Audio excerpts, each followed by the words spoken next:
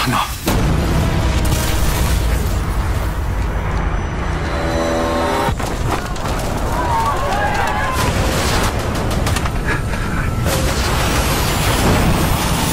뭐야, 어떻게 된 거예요? 지금 하이제킹 상황이야.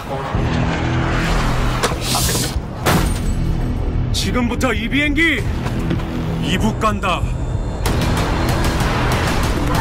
즉시 남쪽으로 전해하라. 이거 놓치면 터친다.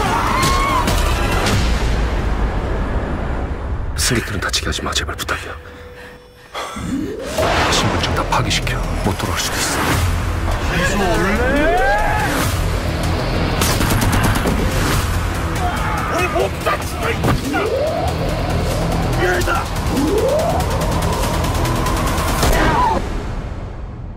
이북에 가야 돼. 이제 피할 방법이 없어. 북진!